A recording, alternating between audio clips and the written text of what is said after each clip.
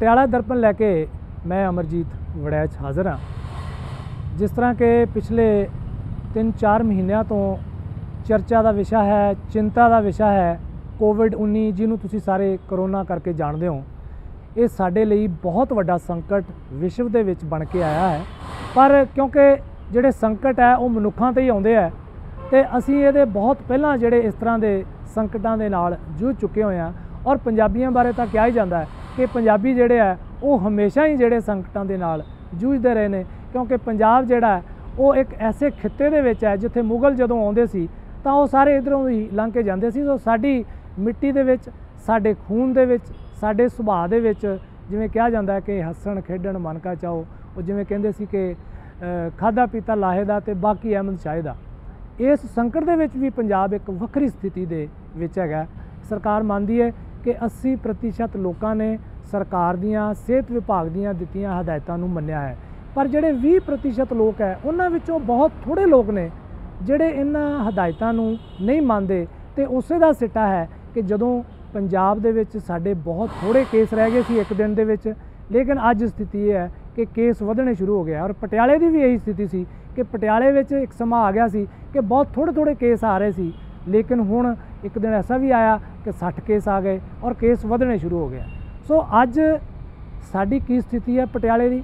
ਆਉਣ ਵਾਲੇ ਸਮੇਂ ਦੇ ਵਿੱਚ ਅਸੀਂ ਕਿਸ ਤਰ੍ਹਾਂ ਦੀਆਂ ਤਿਆਰੀਆਂ ਕਰਨੀਆਂ ਨੇ ਔਰ ਲੋਕਾਂ ਨੇ ਜਿਹੜਾ ਅਸੀਂ ਕਿਸ ਤਰ੍ਹਾਂ ਤਿਆਰ ਹੋਣਾ ਹੈ? ਇਸ ਬਾਰੇ ਅਸੀਂ ਇੱਕ ਵਿਸ਼ੇਸ਼ ਮੁਲਾਕਾਤ ਅੱਜ ਤੁਹਾਡੇ ਨਾਲ ਗੱਲ ਕਰ ਰਹੇ ਹਾਂ। ਪਟਿਆਲਾ ਦੇ deputy commissioner Shri Kumar Amit IAS ਹੋਣਾ ਨਾਲ, ਜਿਨ੍ਹਾਂ ਨਾਲ ਵਿਸ਼ੇਸ਼ ਤੌਰ ਤੇ ਅਸੀਂ ਖਾਸ ਜ਼ਿਕਰ ਇਸ ਗੱਲ ਦਾ ਕਰਨਾ ਹੈ ਕਿ ਪਟਿਆਲੇ ਦੀ ਸਥਿਤੀ, ਕਿਉਂਕਿ ਪਟਿਆਲਾ ਮੁੱਖ ਮੰਤਰੀ ਕੈਪਟਨ ਅਮਰਿੰਦਰ ਸਿੰਘ ਜੀ ਦਾ ਸ਼ਹਿਰ ਹੈ ਔਰ ਇੱਥੇ ਬਾਕੀ ਪੰਜਾਬ ਨਾਲੋਂ ਇੱਥੋਂ ਤੱਕ ਕਿ ਰਾਸ਼ਟਰੀ ਪੱਧਰ ਦੀ ਔਸਤ ਹੈ ਜਿਹੜੀ ਕੁਝ ਉੱਥੇ ਵੀ ਪਟਿਆਲਾ ਜਿਹੜਾ, ਉਹ ਬਹੁਤ ਅੱਗੇ ਹੈ। ਸੋ ਆਓ ਗੱਲ ਕਰਦੇ ਹਾਂ ਡਿਪਟੀ ਕਮਿਸ਼ਨਰ ਪਟਿਆਲਾ ਸ਼੍ਰੀ ਕੁਮਾਰ ਅਮਰ ਜੀ ਦੇ ਨਾਲ।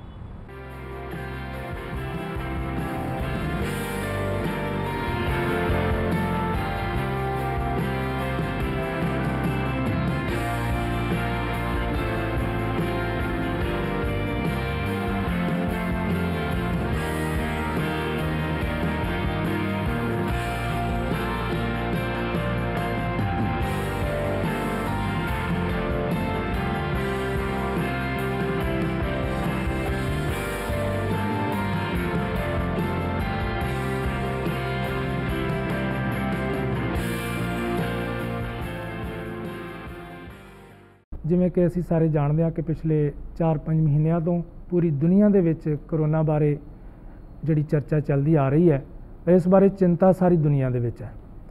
ਦੁਨੀਆ ਦੇ ਵਿੱਚ ਪਹਿਲਾ ਕੇਸ ਚੀਨ ਦੇ ਵਿੱਚ 2019 ਦਸੰਬਰ ਦੇ ਅਖੀਰ ਵਿੱਚ ਆਇਆ। ਭਾਰਤ ਵਿੱਚ ਇਸੇ ਹੀ ਵਰੇ ਜਨਵਰੀ ਦੇ ਅਖੀਰ ਵਿੱਚ, ਪੰਜਾਬ ਵਿੱਚ 9 ਮਾਰਚ ਨੂੰ, ਸਾਡੇ ਪਟਿਆਲਾ ਜ਼ਿਲ੍ਹੇ ਦੇ ਵਿੱਚ 28 ਮਾਰਚ ਨੂੰ ਪਹਿਲਾ ਕੇਸ ਆਇਆ। ਉਸ ਤੋਂ ਲੈ ਕੇ ਹੁਣ ਤੱਕ ਅਸੀਂ ਬਹੁਤ ਸਾਰੀਆਂ ਤਬਦੀਲੀਆਂ ਵੇਖ ਚੁੱਕੇ ਹਾਂ, ਬਹੁਤ ਸਾਰਾ ਕੁਝ ਅਸੀਂ ਦੇਖਿਆ ਇਸ ਸਮੇਂ ਦੇ ਦੌਰਾਨ। ਅੱਜ ਵਰਤਮਾਨ ਸਥਿਤੀ ਕੀ ਹੈ ਔਰ ਆਉਣ ਵਾਲੇ ਸਮੇਂ ਵਿੱਚ ਅਸੀਂ ਕਿਸ ਤਰ੍ਹਾਂ ਤਿਆਰੀਆਂ ਕੀਤੀਆਂ ਨੇ, ਇਸ ਬਾਰੇ ਗੱਲਬਾਤ ਕਰਨ ਲਈ ਅਸੀਂ ਪਟਿਆਲਾ ਦੇ deputy commissioner Shri Kumar Amit IAS ਉਹਨਾਂ ਨਾਲ ਗੱਲ ਕਰ ਰਹੇ ਹਾਂ। ਡੀਸੀ ਸਾਹਿਬ, ਤੁਹਾਨੂੰ ਅਸੀਂ ਜੀ ਆਇਆ ਕਹਿੰਦੇ ਇਸ ਪ੍ਰੋਗਰਾਮ ਦੇ ਵਿੱਚ। ਅੱਜ ਦੀ ਸਥਿਤੀ ਦੇ ਵਿੱਚ ਪਟਿਆਲੇ ਦੀ ਜਿਹੜੀ ਸਥਿਤੀ ਹੈ, ਕਿਉਂਕਿ ਸਾਨੂੰ ਇਹ ਪਤਾ ਲੱਗਿਆ ਕਿ ਪਟਿਆਲਾ ਕਈ ਖੇਤਰਾਂ ਦੇ ਵਿੱਚ ਅੱਗੇ ਨੈਸ਼ਨਲ ਲੈਵਲ ਤੇ ਵੀ ਔਰ ਪੰਜਾਬ ਦੇ ਲੈਵਲ ਤੇ ਵੀ ਅੱਗੇ ਹੈ। ਸੋ ਅੱਜ ਦੀ ਕੀ ਸਥਿਤੀ ਹੈ? ਪਹਿਲੇ ਤਾਂ ਸਭ ਤੋਂ ਪਹਿਲੇ ਕੋਵਿਡ ਦੇ ਵਿੱਚ ਅਗਰ ਦੇਖਿਆ ਜਾਏ ਤਾਂ ਪਟਿਆਲਾ ਇਜ਼ ਬlesed ਕਿ ਸਾਡੇ ਕੋਲ ਜਿਹੜਾ ਹੈ ਇਨਫਰਾਸਟ੍ਰਕਚਰ ਕਾਫੀ ਹੈਗਾ। ਜਦੋਂ ਤੁਸੀਂ ਕਿਹਾ ਜਿਵੇਂ ਤੁਸੀਂ ਕਿਹਾ ਹੈ ਕਿ ਮਾਰਚ ਦੇ ਵਿੱਚ ਜਦੋਂ ਪਹਿਲਾ ਕੇਸ ਪੰਜਾਬ 'ਚ ਆਇਆ ਸੀਗਾ 23 ਮਾਰਚ ਨੂੰ ਪਹਿਲੀ ਵਾਰ ਲਾਕਡਾਊਨ ਲੱਗਾ ਫਿਰ ਜਨਤਾ ਕਰਫਿਊ ਲੱਗਿਆ। ਉਹਦੇ ਬਾਅਦ ਪੰਜਾਬ ਗਵਰਨਮੈਂਟ ਜਿਹੜੇ ਸੀਐਮ ਸਾਹਿਬ ਹੈਗੇ ਪੰਜਾਬ ਦੇ ਉਹਨਾਂ ਨੇ ਵੀ ਲਾਕਡਾਊਨ ਦਾ ਐਲਾਨ ਕੀਤਾ। ਪਹਿਲਾ ਕੇਸ ਜਿਵੇਂ ਤੁਸੀਂ ਕਿਹਾ ਕਿ ਪਟਿਆਲਾ 'ਚ 28 ਮਾਰਚ ਨੂੰ ਆਇਆ ਸੀਗਾ ਜਿਹੜਾ ਰਾਜਪੁਰੇ ਦੇ ਵਿੱਚ ਸੀਗਾ ਘਨੌਰ ਬਲਾਕ ਦੇ ਵਿੱਚ by March 30th Patiala was prepared with respect to the infrastructure ਅਸੀਂ ਇਨਫਰਾਸਟ੍ਰਕਚਰ ਕ੍ਰੀਏਟ ਕਰਕੇ ਰੱਖ ਲਿਆ ਆਪਣੇ ਕੋਲ। ਲਾਕਡਾਊਨ ਦਾ ਜਿਹੜਾ ਹੈਗਾ, ਅਸੀਂ ਬਹੁਤ ਯੂਜ਼ ਕੀਤਾ ਹੈ। ਆਪਣੀ ਟੈਸਟਿੰਗ ਕਿਟਸ ਆਪਣੇ ਕੰਟੇਨਮੈਂਟ ਪਾਲਿਸੀਜ਼ ਐਂਡ ਜਿੰਨੇ ਵੀ ਪ੍ਰੋਟੋਕਾਲ ਸੀਗੇ, ਉਹ ਸੈੱਟ ਹੋਏ ਜੀ। ਹੁਣ ਤੱਕ ਅਸੀਂ ਦੇਖਿਆ ਕਿ ਪਟਿਆਲੇ ਦੀ ਜਿਹੜੀ ਟੈਸਟ ਟੈਸਟਿੰਗ ਦਰ ਹੈ, ਉਹ ਵੀ ਬੜੀ ਕਮਾਲ ਦੀ ਹੈ ਔਰ ਜਿਹੜੀ ਮੌਤ ਦਰ ਹੈ। ਉਹਦੇ ਵਿੱਚ ਵੀ ਅਸੀਂ ਰਾਸ਼ਟਰੀ ਪੱਧਰ ਨਾਲੋਂ ਬਹੁਤ ਥੱਲੇ ਇਸ ਬਾਰੇ ਜਿਹੜੇ ਖਾਸ ਤਰ੍ਹਾਂ ਦੀ ਸਾਡੀ ਅਚੀਵਮੈਂਟ ਰਹੀ ਪਟਿਆਲੇ ਦੀ ਇਹਦੇ ਕੀ ਕਰ ਰਹੇ ਨੇ? ਦੋ ਤਿੰਨ ਚੀਜ਼ ਹੈ ਜੀ। ਕੋਸ਼ਿਸ਼ ਸਾਰੇ ਬੰਦੇ ਕਰਦੇ हैं ਕੋਸ਼ਿਸ਼ ਸਾਰੇ ਮਹਿਕਮੇ ਕਰ ਰਹੇ ਸੀਗੇ। ਇਸ਼ੂ ਦੋ ਹੀ ਹੈ ਇਸमें early testing and early detection ਜਿਹੜਾ ਹੈਗਾ ਉਹ ਕੀ ਹੈਗਾ। ਇਹ ਬਿਮਾਰੀ ਦਾ ਸਿੰਪਲ ਜਿਹਾ ਇਲਾਜ ਇਹ ਹੈ ਕਿ ਅਗਰ ਬੰਦੇ ਦਾ अर्ਲੀ ਟੈਸਟਿੰਗ ਹੋ ਜਾਏ ਤੇ ਉਹਦੀ अर्ਲੀ ਡਿਟੈਕਸ਼ਨ ਹੋ ਜਾਏ ਕਿ ਉਹ ਜਿਹੜਾ ਹੈ ਕੋਵਿਡ ਪੀੜਿਤ ਹੈ ਔਰ ਉਹਨੂੰ ਅਸੀਂ ਨਾਲ ਦੇ ਨਾਲ ਮੈਡੀਕਲ ਇਨਫਰਾਸਟ੍ਰਕਚਰ ਦੇ ਥੱਲੇ ਲਿਆਈਏ ਤਾਂ ਕहीं ਨਾ ਕहीं ਜਾਨ ਬਚ ਜਾਂਦੀ ਹੈਗੀ ਜਿਵੇਂ ਤੁਸੀਂ ਕਿਹਾ ਸਾਡੀ ਜਿਹੜੀ ਟੈਸਟਿੰਗ ਦੀ ਦਰ ਹੈ ਉਹ ਜ਼ਿਆਦਾ ਹੈਗੀ ਮੈਂ ਤੁਹਾਨੂੰ ਇਹ ਸੂਚਿਤ ਵੀ ਕਰ ਦਵਾਂ ਕਿ ਸਾਡੀ ਜਿਹੜੀ ਜ਼ਿਲ੍ਹੇ ਦੀ ਪੋਪੂਲੇਸ਼ਨ ਹੈ ਉਹ 20 ਲੱਖ ਦੇ ਨੇੜੇ ਤੇੜੇ ਹੈਗੀ ਹੁਣ ਤੱਕ ਅਸੀਂ 32000 ਟੈਸਟਿੰਗ ਕਰ ਚੁੱਕੇ ਹਾਂ ਤਾਂ ਇਹਦਾ ਮਤਲਬ ਹੈ 16000 ਪਰ ਮਿਲੀਅਨ ਟੈਸਟਿੰਗ ਹੈ ਜਦੋਂ ਤੁਸੀਂ ਟੈਸਟਿੰਗ ਵਧਾਓਗੇ ਕੇਸ ਆਪਣੇ ਆਪ ਵਧਦੇ ਹੈ ਬਟ ਹਾਲੇ ਵੀ ਸਾਡਾ ਇਨਫਰਾਸਟ੍ਰਕਚਰ ਇਕਵਿਪਡ ਹੈਗਾ ਸਿਰਫ 15% ਬੈੱਡ ਫਿਲ ਹੈ 85% ਇਨਫਰਾਸਟ੍ਰਕਚਰ ਹਾਲੇ ਵੀ ਫਿਲ ਨਹੀਂ ਹੋਇਆ ਹੈਗਾ। ਤਾਂ ਮੇਰਾ ਇਹ ਮੰਨਣਾ ਟੈਸਟਿੰਗ ਐਂਡ ਜਿਹੜੀ ਟ੍ਰੇਸਿੰਗ ਹੈ अर्ਲੀ ਡਿਟੈਕਸ਼ਨ ਜਿਹੜੀ ਹੈਗੀ ਉਹ ਸਭ ਤੋਂ ਇੰਪੋਰਟੈਂਟ ਹੈ। ਚਲੋ ਇਹ ਦੁਆ ਕਰਦੇ ਹਾਂ ਕਿ ਸਾਨੂੰ ਬਾਕੀ ਇਨਫਰਾਸਟ੍ਰਕਚਰ ਭਰਨਾ ਹੀ ਨਾ ਪਵੇ ਲੋਕੀ ਵੈਸੇ ਹੀ ਠੀਕ ਹੋ ਜਾਣ। ਇਹ ਇਸੇ ਸਮੇਂ ਦੇ ਦੌਰਾਨ ਪੰਜਾਬ ਸਰਕਾਰ ਨੇ ਮਿਸ਼ਨ ਫਤਿਹ ਦੀ ਸ਼ੁਰੂਆਤ ਕੀਤੀ ਹੈ ਔਰ ਜ਼ਿਲ੍ਹਾ ਪੱਧਰ ਤੇ ਵੱਖਰੇ ਚੱਲ ਰਿਹਾ ਕੰਮ। ਉਹਦੀ ਸਾਡੇ ਜ਼ਿਲ੍ਹੇ ਦੇ ਵਿੱਚ ਕੀ ਸਥਿਤੀ ਹੈ ਕਿਸ ਤਰ੍ਹਾਂ ਲਾਗੂ ਹੋਇਆ ਹੋਇਆ? ਮਿਸ਼ਨ ਫਤਿਹ ਇੱਕ ਬਹੁਤ ਚੰਗਾ ਉਪਰਾਲਾ ਹੈ। ਕੋਵਿਡ ਜਿਹੜਾ ਤੁਸੀਂ ਅਗਰ ਦੇਖੋ ਇੱਕ ਤਾਂ ਅਸੀਂ ਮਿਹਨਤ ਕਰੇ ਇਨਫਰਾਸਟ੍ਰਕਚਰ ਕ੍ਰੀਏਟ ਕਰਕੇ ਬਟ ਲੋਕਾਂ ਦਾ ਜਿਹੜਾ ਬਿਹੇਵੀਅਰ ਹੈ ਲੋਕੀ ਜਦ ਤੱਕ ਸਾਡੇ ਨਾਲ ਨਹੀਂ ਜੁੜेंगे ਇਹ ਬਿਮਾਰੀ ਦੇ ਨਾਲ ਨਜਿੱਠਣ ਲਈ ਅਸੀਂ ਵੀ ਇਤਨੇ ਇਕਵਿਪ ਨਹੀਂ ਹੁੰਦੇ ਹੈਗੇ। ਤੁਸੀਂ ਚਾਹੇ ਕਿਸੇ ਵੀ ਕੰਟਰੀ ਦੀ ਹਾਲਤ ਦੇਖੋ ਜਦ ਤੱਕ ਲੋਕੀ ਨਹੀਂ ਜੁੜਦੇ ਤੁਸੀਂ ਸਾਊਥ ਕੋਰੀਆ ਦਾ ਮਾਡਲ ਦੇਖ ਲਓ ਆਸਟ੍ਰੇਲੀਆ ਦਾ ਮਾਡਲ ਦੇਖ ਲਓ ਚਾਈਨਾ ਦਾ ਮਾਡਲ ਦੇਖ ਲਓ तो मिशन फतेह एक कारगर स्कीम हैगी कारगर प्रपोजल है ਅਸੀਂ ਜਦ ਮਿਸ਼ਨ ਫਤਿਹ ਲੈ ਕੇ ਲੋਕਾਂ ਤੱਕ ਜਾਂਦੇ ਹੈਗੇ ਲੋਕੀ ਸਮਝਦੇ ਆ ਦੋ ਦਿਨ ਪਹਿਲੇ ਮੈਂ ਖੁਦ ਜਿਹੜਾ ਹੈ ਵਰਲਡ ਸਿਟੀ ਦੇ ਅੰਦਰ ਚੱਕਰ ਮਾਰਿਆ। ਅਸੀਂ 2-2.5 ਘੰਟੇ ਉੱਥੇ ਜਿਹੜਾ ਸਪੈਂਡ ਕੀਤਾ। ਇਹ ਖੁਸ਼ੀ ਦੀ ਗੱਲ ਹੈ 60-70% ਬੰਦੇ ਹਾਲੇ ਵੀ ਮਾਸਕ ਦਾ ਉਪਯੋਗ ਕਰਦੇ ਸੋਸ਼ਲ ਡਿਸਟੈਂਸਿੰਗ ਵੀ ਕਰਦੇ ਹੈ। ਕहीं ਨਾ ਕਹੀਂ ਉਹ 20% ਜਿਹੜੇ ਹੈਗੇ, ਉਹਨਾਂ ਦਾ ਜਿਹੜਾ ਹੈ, ਅਸੀਂ ਮਿਸ਼ਨ ਫਤਿਹ ਦੇ ਅੰਦਰ ਡੀਪੀਆਰਓ ਸਾਹਿਬ ਹੈਗੇ ਸਾਡੇ ਸਾਡੇ ਜਿੰਨੀ ਵੀ ਆਰਗੇਨਾਈਜੇਸ਼ਨ ਹੈ, ਨਹਿਰੂ ਯੁਵਾ ਕੇਂਦਰ, ਯੂਥ ਵੋਲੰਟੀਅਰਸ ਪਿੰਡਾਂ ਦੇ ਲੈਵਲ 'ਚ ਸਾਡੇ ਜਿਹੜੇ ਪਟਵਾਰੀ ਹੈਗੇ, ਪੰਚਾਇਤ ਸੈਕਟਰੀ ਆਸ਼ਾਸ ਹੈਗੇ, ਉਹ ਵੀ ਇਸ ਮਿਸ਼ਨ ਨੂੰ ਲੈ ਕੇ ਨਾਲ ਚੱਲ ਰਹੇ ਨੇ। ਜੀ। ਇਸ ਸਮੇਂ ਦੇ ਦੌਰਾਨ ਡੀਸੀ ਸਾਹਿਬ ਪਤਾ ਲੱਗਿਆ ਕਿ ਜਿਹੜੇ ਲੋਕ ਫਰੰਟ ਲਾਈਨ ਦੇ ਉੱਤੇ ਕੰਮ ਕਰਦੇ ਆ, ਜਿਨ੍ਹਾਂ ਦੇ ਵਿੱਚ ਸਭ ਤੋਂ ਵੱਧ ਐਡਮਿਨਿਸਟ੍ਰੇਸ਼ਨ ਹੈ, ਔਰ ਡਾਕਟਰਸ ਨੇ ਨਰਸਿਸ ਨੇ, ਉਹਨਾਂ ਦਾ ਅੱਗੇ ਸਟਾਫ ਹੈਗਾ। ਉਹ ਸਭ ਤੋਂ ਵੱਡੇ ਰਿਸਕ ਤੇ ਉਹ ਨੇ, ਕਿਉਂਕਿ ਫਰੰਟ ਲਾਈਨ ਤੇ ਉਹ ਲੜ ਰਹੇ ਨੇ। ਉਹਨਾਂ ਚੋਂ ਵੀ ਕੁਝ ਲੋਕਾਂ ਨੂੰ ਹੋਇਆ। ਉਹਨਾਂ ਬਾਰੇ ਕੀ ਕਹਿਣਾ ਚਾਹੋਗੇ? ਕਿਉਂਕਿ ਜਦੋਂ ਲੋਕਡਾਊਨ ਹੋਇਆ, ਅਸੀਂ ਦੇਖਿਆ ਕਿ ਇਹਨਾਂ ਲੋਕਾਂ ਨੇ ਕੰਮ ਕੀਤਾ, ਪ੍ਰਸ਼ਾਸਨ ਨੇ, ਪੁਲਿਸ ਨੇ, ਔਰ ਇਹਦੇ ਵਿੱਚ ਜਿਹੜੇ ਸਫ਼ਾਈ ਸੇਵਕ ਸੀਗੇ, ਉਹਨਾਂ ਦਾ ਬਹੁਤ ਵੱਡਾ ਰੋਲ ਰਿਹਾ। ਇੱਕਦਮ ਠੀਕ ਹੈ ਜੀ। ਫਰੰਟ ਲਾਈਨ ਵਰਕਰ ਜਿਵੇਂ ਇਹਨਾਂ ਨੇ ਕੰਮ ਕੀਤਾ ਹੈਗਾ ਔਰ ਜਿਸ ਤਰ੍ਹਾਂ ਸੇ ਇਹਨਾਂ ਨੇ ਆਪਣਾ ਜਿਹੜਾ ਹੈ ਕੈਰੈਕਟਰ ਸ਼ੋ ਕੀਤਾ ਹੈ। I think this is nation building and this is the character which we have shown ਅਸੀਂ ਬਹੁਤ ਪ੍ਰਾਊਡ ਹੈ ਇਹਨਾਂ ਦੇ ਪ੍ਰਤੀ। ਕਈ ਬੰਦੇ ਸਾਡੇ ਜਿਹੜੇ ਹੈਗੇ ਕੋਵਿਡ ਪੋਜ਼ਿਟਿਵ ਵੀ ਨਿਕਲੇ ਬਟ ਮੈਂ ਤੁਹਾਨੂੰ ਇੱਕ ਛੋਟੀ ਜੀ ਸਟੋਰੀ ਤੁਹਾਡੇ ਨਾਲ ਸਾਂਝੀ ਕਰਦਾ। ਟੀਵੀ ਹਸਪੀਟਲ 'ਚ ਸਾਡਾ ਇੱਕ ਸੀਨੀਅਰ ਰੈਸੀਡੈਂਟ ਹੈ। ਉਹ ਪਰਸੂ ਪੋਜ਼ਿਟਿਵ ਆਇਆ ਤੇ ਕਹਿੰਦਾ ਸਰ ਜਦੋਂ ਹੀ ਮੈਂ ਠੀਕ ਹੋ ਜਾਵਾਂਗਾ ਸਭ ਤੋਂ ਪਹਿਲਾ ਕੰਮ ਮੈਂ ਵਾਪਸ ਆ ਕੇ ਕੰਮ ਕਰਾਂਗਾ ਜੀ। ਤਾਂ ਇਹਦਾ ਮਤਲਬ ਹੈ ਜਿਹੜੇ ਬੱਚੇ ਹੈ ਜਿਹੜੇ ਸਫ਼ਾਈ ਸੇਵਕ ਨੇ ਜਿਹੜੇ ਸਾਡੀ ਨਰਸਸ ਹੈਗੀਆਂ ਸਾਡੇ ਡਾਕਟਰਸ ਹੈਗੇ ਸਪੈਸ਼ਲੀ ਪੁਲਿਸ ਫੋਰਸਸ ਹੈਗੀਆਂ ਆਪਣੇ ਕਾਰਪੋਰੇਸ਼ਨ ਦੇ ਜਿੰਨੇ ਮਹਿਕਮੇ ਦੇ ਸਪੈਸ਼ਲੀ ਸਾਡੇ ਤਹਿਸੀਲਦਾਰ ਹੋ ਗਏ ਫਰੰਟ ਲਾਈਨ ਵਰਕਰ ਹੋ ਗਏ ਸਾਡੇ ਏਡੀਸੀ ਐਸਡੀਐਮ ਜਦੋਂ ਅਸੀਂ ਇੱਥੋਂ ਲੇਬਰ ਤੋਰ ਰਹੇ ਸੀਗੇ ਅਸੀਂ ਰੇਲਵੇ ਸਟੇਸ਼ਨ ਦੇ ਵਿਚਕਾਰ ਬੈਠ ਕੇ ਇਹਨਾਂ ਦਾ ਜਿਹੜਾ ਹੈਗਾ ਕੋਸ਼ਿਸ਼ ਇਹ ਕੀਤੀ ਕਿ ਆਪਣੇ ਪਰਿਵਾਰ ਦੇ ਨਾਲ ਮਿਲੇ। ਤਾਂ ਮੈਨੂੰ ਨਹੀਂ ਲੱਗਦਾ ਕਿਸੇ ਵੀ ਤਰ੍ਹਾਂ ਕਿਸੇ ਵੀ ਟਾਈਮ 'ਚ ਇਨ ਫਰੰਟ ਲਾਈਨ ਵਰਕਰਾਂ ਨੂੰ ਇਹ ਲਗਾ ਕਿ ਅਸੀਂ ਕਿਸੇ ਔਰ ਦੇ ਲਈ ਕਰ ਰਹੇ ਹਾਂ। ਉਹ ਇਹ ਕਰ ਰਹੇ ਅਸੀਂ ਆਪਣੀ ਨੇਸ਼ਨ ਆਪਣੀ ਸਟੇਟ ਆਪਣੇ ਲੋਕਾਂ ਦੇ ਲਈ ਕਰ ਰਹੇ ਹਾਂ। ਅ, ਜਿਵੇਂ ਤੁਸੀਂ ਗੱਲ ਕੀਤੀ ਹੈ ਕਿ ਸਾਡੇ ਜਿਹੜੇ ਬਹੁਤ ਸਾਰੇ ਮਜ਼ਦੂਰ ਇੱਥੇ ਫਸੇ ਸੀ ਦੂਸਰੇ ਰਾਜਾਂ ਦੇ ਤੇ ਉਹਨਾਂ ਨੂੰ ਹੌਲੀ ਹੌਲੀ ਹੌਲੀ ਸਰਕਾਰਾਂ ਨੇ ਤਿਆਰ ਕੀਤਾ ਭੇਜਣ ਲਈ ਗੱਡੀਆਂ ਭੇਜੀਆਂ। ਪਟਿਆਲੇ ਦੇ ਵਿੱਚੋਂ ਕਿੰਨੇ ਕੁ ਜਿਹੜੇ ਆ ਉਹ ਮਜ਼ਦੂਰ ਗਏ ਗੱਡੀਆਂ ਗਈਆਂ ਨੇ ਇੱਥੋਂ? ਜਦੋਂ ਸ਼ੁਰੂ ਹੋਇਆ ਸੀਗਾ ਇਹ ਮਈ ਮਹੀਨੇ ਦੀ ਗੱਲ ਹੈਗੀ ਜਦੋਂ 올 ਇੰਡੀਆ ਲੈਵਲ 'ਚ ਤੁਸੀਂ ਦੇਖਿਆ ਸੀ ਕਿ ਦਿੱਲੀ 'ਚ ਵੀ ਕੁਝ ਇਸ਼ੂਜ਼ ਹੋਏ ਉਹਦੇ ਬਾਅਦ ਪਰ- Punjab government became very conscious train ਚਲਾਈਆਂ ਗਈਆਂ ਜੀ ਅਕ੍ਰੋਸ ਦੀ ਕੰਟਰੀ ਚਾਹੇ ਉਹ ਕਸ਼ਮੀਰ ਹੋ ਰਾਜਸਥਾਨ ਹੋ ਬਿਹਾਰ ਝਾਰਖੰਡ ਅਸਮ ਅਸੀਂ ਟੋਟਲ 35000 ਲੇਬਰਸ ਨੂੰ ਜਿਹੜਾ ਹੈਗਾ ਉਹਨਾਂ ਦੇ ਘਰ ਪਹੁੰਚਾਇਆ। ਪਟਿਆਲਾ ਪਟਿਆਲਾ ਪਟਿਆਲਾ ਜ਼ਿਲ੍ਹੇ ਤੋਂ 24 ਟ੍ਰੇਨਸ ਚਲਾਈਆਂ ਗਈਆਂ ਕਈ ਸੈਂਕੜੋ ਬੱਸਸ ਚਲਾਈਆਂ ਗਿਆ ਔਰ ਇਹ ਕੋਸ਼ਿਸ਼ ਕੀਤੀ ਕਿ ਉਹ ਆਪਣੇ ਘਰ ਪਹੁੰਚਣ ਉਹਨਾਂ ਦਾ ਖਾਣਾ ਪੀਣਾ ਉਹਨਾਂ ਦੀ ਸਿਹਤ ਉਹਨਾਂ ਦੇ ਬੱਚੇ ਦਾ ਜਿਹੜਾ ਹੈਗਾ ਸਾਰਾ ਰੱਖ ਰਖਾਵ ਉਹ ਸਾਰਾ ਕੁਝ ਇਨਸ਼ੋਰ ਕਰਕੇ ਉਹਨਾਂ ਨੂੰ ਭੇਜਿਆ ਸੀਗਾ। ਜੀ। ਹੁਣ ਆਉਣ ਵਾਲਾ ਸਮਾਂ ਜਿਹੜਾ ਹੈ, ਉਹਦੇ ਲਈ ਵੀ ਅਸੀਂ ਤਿਆਰ ਹੋਣਾ ਹੈ।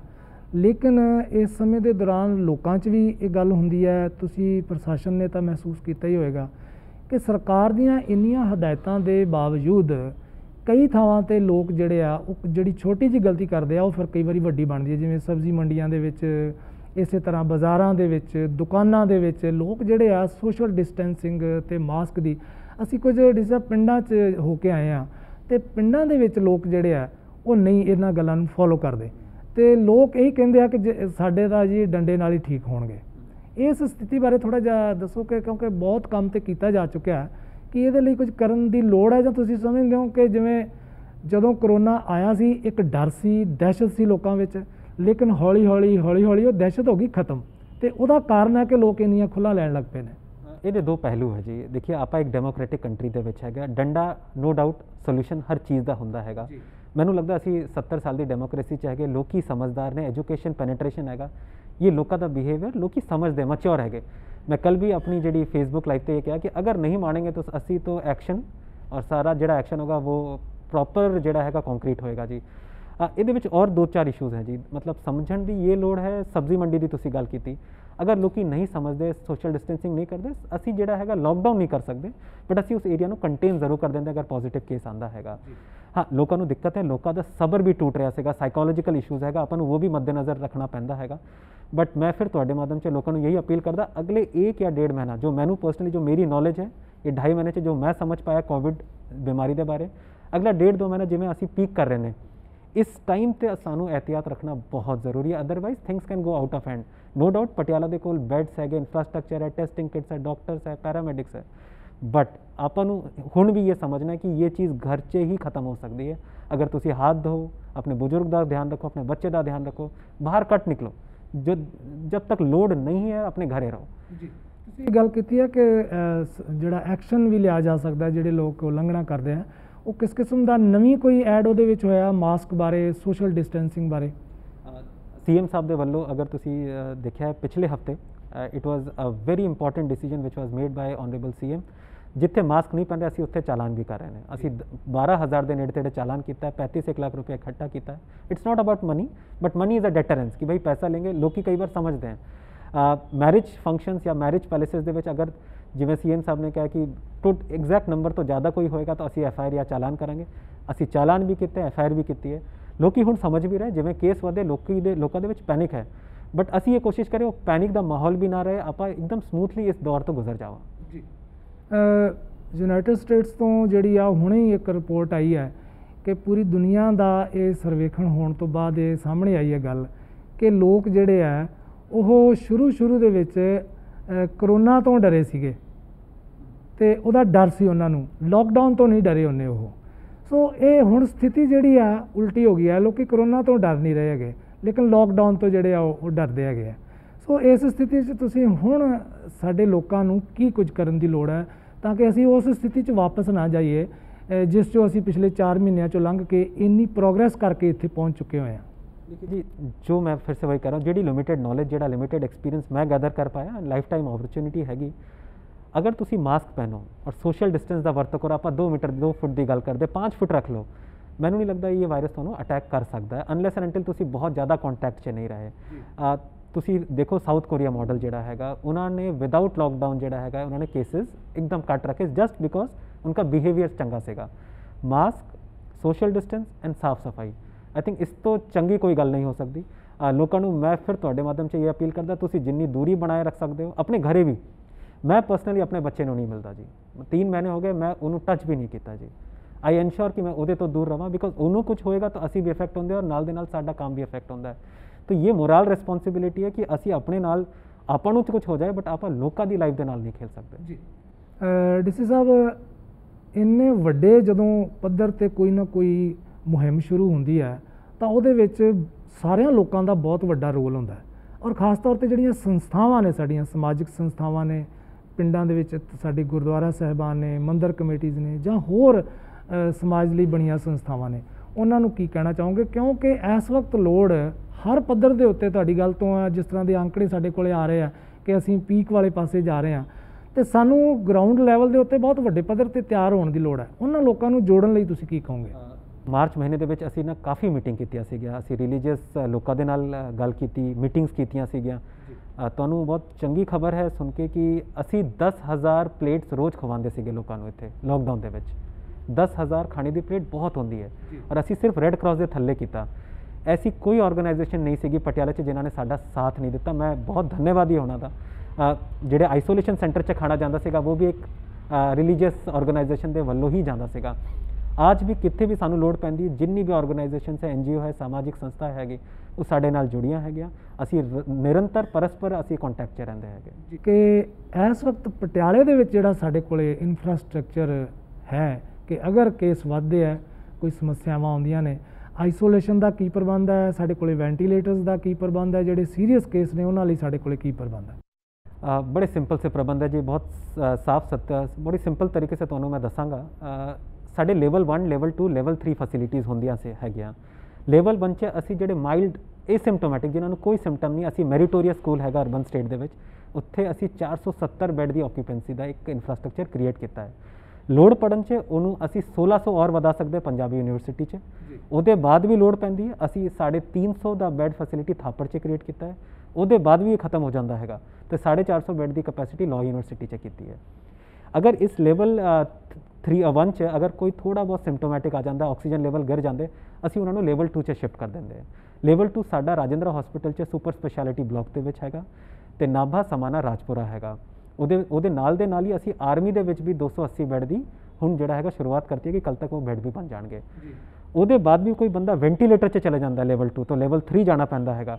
ਸਾਡੇ 40 ਬੈੱਡ ਰਾਜਿੰਦਰਾ ਹਸਪੀਟਲ 'ਚ ਐਮਸੀਐਚ ਬਲਾਕ 'ਚ ਹੈਗੇ। ਤਾਂ ਹਾਲੇ ਵੀ ਖੁਸ਼ਖਬਰੀ ਹੈ ਕਿ 40 ਬੈੱਡ ਹਾਲੇ ਵੀ ਖਾਲੀ ਹੈ। ਕੋਈ ਕ੍ਰਿਟੀਕਲ ਪੇਸ਼ੈਂਟ ਨਹੀਂ ਹੈ ਸਾਡਾ। ਜੀ। ਤੋ this these are the facilities which we have created total ਸਾਡੇ ਜਿਹੜੇ ਬੈੱਡ ਹੈਗੇ ਉਹ 3188 ਹੈ। ਜੀ। ਹੁਣ ਤੱਕ ਸਿਰਫ 380 ਹੀ ਪੇਸ਼ੈਂਟ ਭਰੇ ਪੜੇ ਜੀ।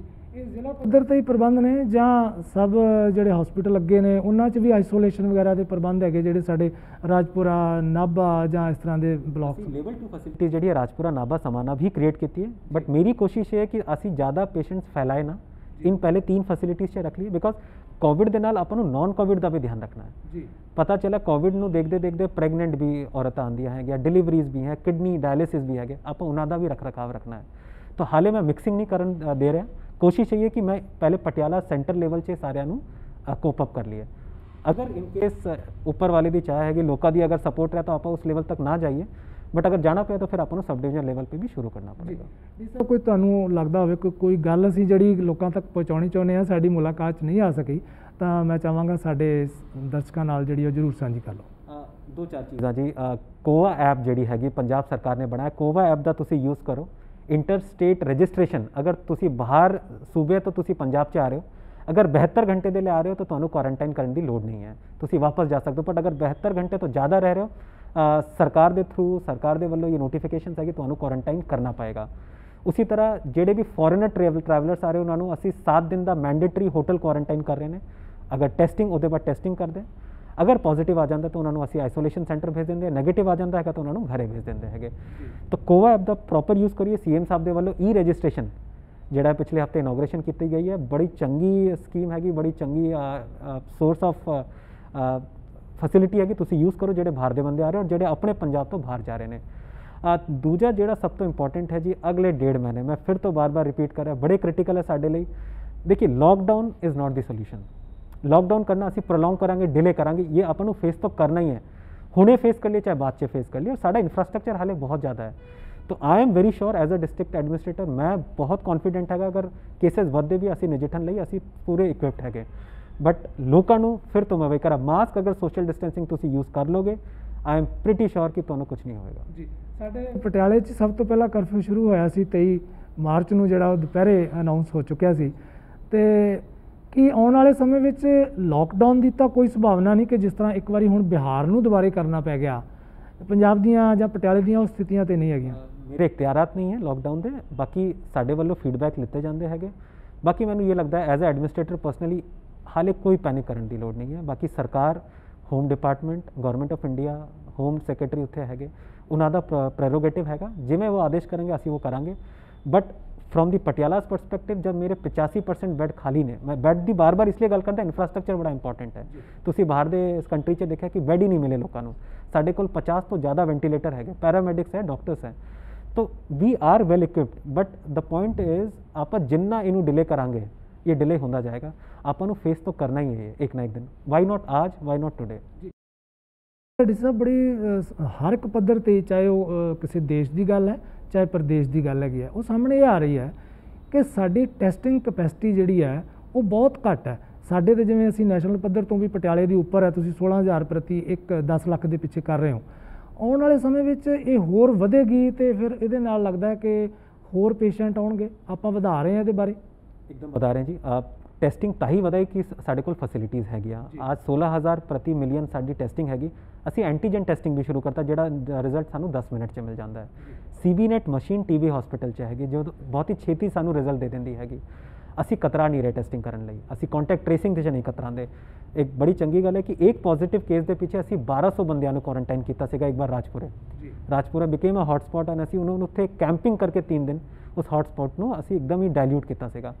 ਤੋ ਇਹ ਇੱਥੇ actually we have to face the reality and testing ਤਾਂ ਕਰਨੀ ਪਏਗੀ ਜੀ we don't have a choice without testing ਸਾਨੂੰ ਪਤਾ ਹੀ ਨਹੀਂ ਚੱਲਣਾ ਸੋ ਹੋਰ ਅੱਗੇ ਵਧਣ ਦੀ ਸੰਭਾਵਨਾ ਹੈ ਕਿ ਅਸੀਂ ਅਸੀਂ ਹਰ ਹਫ਼ਤੇ ਸਾਡੀ ਟੈਸਟਿੰਗ ਕੈਪੈਸਿਟੀ ਵਧ ਰਹੀ ਨੇ। ਹੁਣ ਵੀ ਐਂਟੀਜਨ ਟੈਸਟਿੰਗ ਅਸੀਂ ਪਰਸੋਂ ਸ਼ੁਰੂ ਕਰਾਈ ਹੈ ਸੀਬੀਨੈਟ ਦੀ ਮਸ਼ੀਨ ਹੁਣ ਵੈਲ ਇਕਵਿਪਡ ਹੋ ਗਈ ਹੈ 100 ਕੇਸਸ ਔਰ ਵਧ ਗਏ ਨੇ 100 ਟੈਸਟਿੰਗ ਤਾਂ ਹਰ ਰੋਜ਼ ਅਸੀਂ ਉਸ ਇਨਫਰਾਸਟ੍ਰਕਚਰ ਨੂੰ ਵਧਾ ਹੀ ਰਹੇ ਜੀ ਅਸੀਂ ਚਾਹਾਂਗੇ ਕਿ ਇੱਕ ਵਾਰੀ ਸਾਡੇ ਸਰੋਤਿਆਂ ਨੂੰ ਅਖੀਰ ਦੇ ਵਿੱਚ ਜਿਹੜੇ ਖਾਸ ਕੋਵਿਡ ਤੋਂ ਬਚਣ ਦੇ ਸਰਕਾਰ ਵੱਲੋਂ ਕਿਹਾ ਜਾਂਦਾ ਕਿ ਇਹ ਕਿ ਕੰਮ ਕਰੋ, ਉਹ ਸਾਡੇ ਦਰਸ਼ਕਾਂ ਦੇ ਨਾਲ ਜਿਹੜੀ ਆ ਉਹ ਤੁਸੀਂ ਉਹਨਾਂ ਨੂੰ ਇੱਕ ਵਾਰੀ ਫੇਰ ਅਪੀਲ ਕਰ ਦਿੱਤੀ ਜਾਵੇ। ਥੈਂਕ ਯੂ ਜੀ। ਬੜੀ ਇੰਪੋਰਟੈਂਟ ਚੀਜ਼ ਹੈ। ਸਭ ਤੋਂ ਪਹਿਲੇ, ਜਦ ਤੱਕ ਬਹੁਤ ਹੀ ਇੰਪੋਰਟੈਂਟ ਨਹੀਂ ਹੈ ਤੁਸੀਂ ਬਾਹਰ ਨਾ ਨਿਕਲੋ ਘਰੋਂ। ਆਪਣੇ ਘਰੇ ਰਹੋ। ਸੈਕੰਡਲੀ ਤੁਹਾਡੇ ਅਗਰ ਘਰੇ ਕੋਈ ਬਜ਼ੁਰਗ ਹੈ, ਕੋਈ ਛੋਟੇ ਬੱਚੇ ਨੇ, ਕੋਈ ਪ੍ਰੈਗਨੈਂਟ ਲੇਡੀਜ਼ ਹੈਗੇ, ਕੋਈ ਕੋਮੋਰਬਿਡ ਪੇਸ਼ੈਂਟਸ ਹੈਗੇ, ਤੁਹਾਡੀ ਰਿਸਪੌਂਸਿਬਿਲਿਟੀ ਬਹੁਤ ਜ਼ਿਆਦਾ ਵੱਧ ਜਾਂਦੀ ਹੈ। ਤੁਸੀਂ ਬਾਹਰ ਜਾ ਕੇ ਜਾਓਗੇ ਇਨਫੈਕਟ ਹੋਗੇ, ਤਾਂ ਸਭ, ਪੂਰੇ ਪਰਿਵਾਰ ਜਿਹੜਾ ਇਨਫੈਕਟ ਹੁੰਦਾ ਹੈ। मेरी जी एक्सपीरियंस है जब एक बंदा कोई पॉजिटिव है उसने पूरे परिवार को पॉजिटिव किया। सेकेंड थर्डली मास्क का ज़रूर उपयोग करो। कोशिश ये करो कि जब भी तुम घरों बाहर अपना कदम रख दो मास्क पहन के निकलो। एक सोशल डिस्टेंसिंग की वरतों करो जी। जो तो तुम अपने दोस्त के नाल बैठे हो परिवार के नाल बैठे हो अगर बैठे भी हो तो बहुत क्लोज ना जाओ जी। बच्चों बहुत ज़्यादा क्लोज ना रखो अपने बुज़ुर्ग ना बहुत ज़्यादा क्लोज ना रखो। आ, लास्ट अपने हाथ ज़रूर धो। साफ़ सुथरा रखो नहाओ धो चंकी तरह। गर्म खाना खाओ गर्म पानी पियो। ਆਈ ਥਿੰਕ ਇਹ ਚਾਰ ਮੰਤਰ ਹੈ ਇਸ ਤੋਂ ਚੰਗੀ ਕੋਈ ਚੀਜ਼ ਨਹੀਂ ਆਪਾਂ ਕਿਉਂ ਅਨਨੈਸੈਸਰੀ ਆਪਣੇ ਆਪ ਨੂੰ ਜੋਖਮ ਤੇ ਆਪਣੇ ਪਰਿਵਾਰ ਨੂੰ ਜੋਖਮ 'ਚ ਡਾਲਣਾ ਅ, ਜਿਸ ਤਰ੍ਹਾਂ ਕਿ ਬੜੀ ਸਪਸ਼ਟ ਗੱਲ ਜਿਹੜੀ ਆ ਉਹ ਹੋ ਚੁੱਕੀ ਹੋਈ ਹੈ ਕਿ ਕੁਝ ਖਾਸ ਗੱਲਾਂ ਦਾ ਧਿਆਨ ਰੱਖਣ ਦੀ ਲੋੜ ਹੈ ਤੁਸੀਂ ਇਹ ਗੱਲ ਨੋਟ ਕੀਤੀ ਹੋਣੀ ਹੈ ਕਿ ਅੱਜ ਦੀ ਮੁਲਾਕਾਤ ਦੇ ਵਿੱਚ ਵੀ ਜਦੋਂ ਕਿ ਟੀਵੀ ਦੇ ਉੱਤੇ ਮੁਲਾਕਾਤ ਹੁੰਦੀ ਹੋਵੇ ਤੇ ਸਾਡਾ ਹਰ ਇੱਕ ਦਾ ਇਹ ਮਨੀ ਇੱਛਾ ਹੁੰਦੀ ਹੈ ਕਿ ਮੇਰੀ ਜਿਹੜੀ ਆ ਸ਼ਕਲ ਜਿਹੜੇ ਆ ਵੇਖਣ ਪਰ ਡੀਸੀ ਸਾਹਿਬ ਨੇ ਵੀ ਇਸ ਗੱਲ ਨੂੰ ਕਿਹਾ ਕਿ ਅਸੀਂ ਮਾਸਕ ਪਾ ਕੇ ਹੀ ਜਿਹੜਾ ਉਹ ਇੰਟਰਵਿਊ ਕਰਨੀ ਹੈ ਸੋ ਇਹ ਇੱਕ ਸੁਨੇਹਾ ਹੈ, ਬਹੁਤ ਸਖਤ ਸੁਨੇਹਾ ਸਮਝ ਲਓ ਕਿ ਬਿਨਾਂ ਮਾਸਕ ਤੋਂ ਅਸੀਂ ਘਰੋਂ ਬਾਹਰ ਨਹੀਂ ਨਿਕਲਣਾ। ਆਪਣੇ ਹੱਥ ਵਾਰ-ਵਾਰ ਧੋਣੇ ਨੇ ਔਰ ਨੱਕ, ਮੂੰਹ ਤੇ ਅਸੀਂ ਆਪਣੇ ਅੱਖਾਂ ਨੂੰ ਹੱਥ ਜਿਹੜੇ ਆ, ਉਹ ਬਿਲਕੁਲ ਨਹੀਂ ਲਾਉਣੇ। ਸੋਸ਼ਲ ਡਿਸਟੈਂਸ ਦੀ ਤਾਂ ਜਿਹੜੀ ਗੱਲ ਹੈ, ਉਹ ਵਾਰ-ਵਾਰ ਕੀਤੀ ਜਾ ਰਹੀ ਹੈ। ਸਾਡੇ ਜ਼ਿਲ੍ਹਾ ਪਟਿਆਲਾ ਦੇ ਵਿੱਚ ਇਨਫਰਾਸਟ੍ਰਕਚਰ ਭਾਵ ਕਿ ਮੈਡੀਕਲ ਫੈਸਿਲਿਟੀਆਂ ਜਿਵੇਂ ਡੀਸੀ ਸਾਹਿਬ ਨੇ ਦੱਸਿਆ ਕਿ ਉਹ ਵੱਡੇ ਪੱਧਰ ਤੇ ਨੇ। ਉਹਨਾਂ ਦੇ ਵਿੱਚੋਂ ਬਹੁਤ ਫੈਸਿਲਿਟੀਆਂ ਹਾਲੇ ਅਸੀਂ ਨਹੀਂ ਵਰਤੀਆਂ ਹੈਗੀਆਂ। ਆਉਣ ਵਾਲੇ ਸਮੇਂ ਵਿੱਚ ਹੋਰ ਵੀ ਜਿਹੜੀਆਂ ਫੈਸਿਲਿਟੀਆਂ ਜਿਹੜੀਆਂ ਨੇ ਉਹ ਐਕਸਟੈਂਡ ਕੀਤੀਆਂ ਜਾਣਗੀਆਂ। ਪਰ ਇਸ ਵਾਰ ਜਿਹੜੀ ਗੱਲ ਲੋਕਾਂ 'ਚ ਮਹਿਸੂਸ ਕੀਤੀ ਜਾ ਰਹੀ ਹੈ ਜਿਹੜੇ ਲੋਕ ਮੀਡੀਆ ਨਾਲ ਜੁੜੇ ਹੋਏ ਨੇ, ਡਾਕਟਰੀ ਪੇਸ਼ੇ ਨਾਲ ਜੁੜੇ ਆ, ਪ੍ਰਸ਼ਾਸਨ ਨਾਲ ਜੁੜੇ ਆ, ਉੱਥੇ ਇਹ ਗੱਲ ਮਹਿਸੂਸ ਕੀਤੀ ਜਾ ਰਹੀ ਹੈ ਕਿ ਇਸ ਵਾਰ ਸਰਕਾਰ ਘੱਟ ਫੇਲ ਹੋਈ ਹੈ, ਸਮਾਜ ਜ਼ਿਆਦਾ ਫੇਲ ਹੋਇਆ। ਕਿਉਂਕਿ ਅਸੀਂ ਲੋਕਾਂ ਨੇ ਬਹੁਤ ਸਾਰੀਆਂ ਉਲੰਘਣਾਵਾਂ ਕੀਤੀਆਂ ਨੇ, ਜਿਹਦਾ ਕਾਰਨ ਹੈ ਕਿ ਇੱਕ ਵਾਰੀ ਫੇਰ ਜਿਹੜੇ ਕਰੋਨਾ ਕੋਵਿਡ 19 ਦੇ ਕੇਸ ਨੇ, ਉਹ ਵਧਣੇ ਸ਼ੁਰੂ ਹੋਏ ਆ ਔਰ ਸਾਡੇ ਹਰ ਗਲੀ, ਹਰ ਮੁਹੱਲੇ, ਹਰ ਘਰ ਦੇ ਵਿੱਚ ਇਹ ਚਿੰਤਾ ਪ੍ਰਗਟ ਜਿਹੜੀ ਆ, ਉਹ ਕੀਤੀ ਜਾ ਰਹੀ ਹੈ ਸੋ ਇਸ ਵਕਤ ਅਸੀਂ ਆਸ ਕਰਦੇ ਹਾਂ, ਅਰਦਾਸ ਕਰਦੇ ਹਾਂ ਕਿ ਪ੍ਰਮਾਤਮਾ ਸਾਰਿਆਂ ਨੂੰ ਇਸ ਸੰਕਟ ਦੇ ਵਿੱਚੋਂ ਕੱਢੇ ਤੇ ਸਾਡੇ ਪਟਿਆਲਾ ਜ਼ਿਲ੍ਹੇ ਦੇ ਜਿਹੜੀਆਂ ਤਿਆਰੀਆਂ ਨੇ, ਉਹਨਾਂ ਦੇ ਰਿਜ਼ਲਟ ਜਿਹੜੇ ਆ ਸਾਨੂੰ ਬੜੀ ਛੇਤੀ ਆਉਣਗੇ। ਸਾਨੂੰ ਘਬਰਾਉਣ ਦੀ ਲੋੜ ਨਹੀਂ, ਪ੍ਰਸ਼ਾਸਨ ਸਾਡੇ ਨਾਲ ਹੈ, ਲੇਕਿਨ ਇਸ ਵਕਤ ਲੋੜ ਹੈ ਕਿ ਤੁਸੀਂ ਇਸ ਗੱਲ ਨੂੰ ਮੰਨ ਕੇ ਚੱਲੋ ਕਿ ਜੋ ਪ੍ਰਸ਼ਾਸਨ ਜੋ ਡਾਕਟਰ, ਜੋ ਸਰਕਾਰ ਕਹਿੰਦੀ ਹੈ, ਉਸ ਦੇ ਉੱਤੇ ਆਪਾਂ ਪੂਰੀ ਤਰ੍ਹਾਂ ਅਮਲ ਕਰੀਏ, ਤਾਂ ਹੀ ਆਪਾਂ ਇਸ ਸੰਕਟ ਚੋਂ ਨਿਕਲਾਂਗੇ। ਔਰ ਇੱਕ ਇੱਕ ਵਿਅਕਤੀ ਜਿਹੜਾ ਉਹ ਆਪਣੇ ਆਪ ਦੇ ਵਕਤ ਇਸ ਕਰੋਨਾ ਯੁੱਧ ਦੇ ਵਿੱਚ ਯੋਧਾ ਹੈ। ਸੋ ਡੀਸੀ ਸਾਹਿਬ ਸਾਡੇ ਨਾਲ ਇੰਨੀ ਵਿਸਥਾਰ ਚ ਗੱਲ ਕਰਨ ਲਈ ਤੁਹਾਡਾ ਬਹੁਤ ਬਹੁਤ ਸ਼ੁਕਰੀਆ ਜੀ।